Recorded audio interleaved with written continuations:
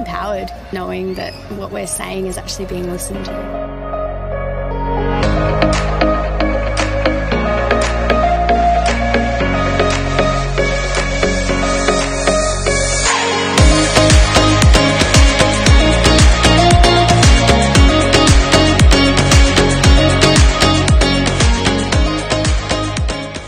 Have a conference where kids can come together and connect with people that are exactly like them.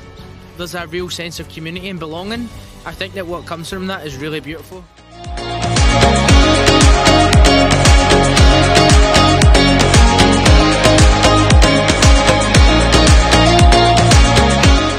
Every time a young person is up on stage, I get excited, I get motivated.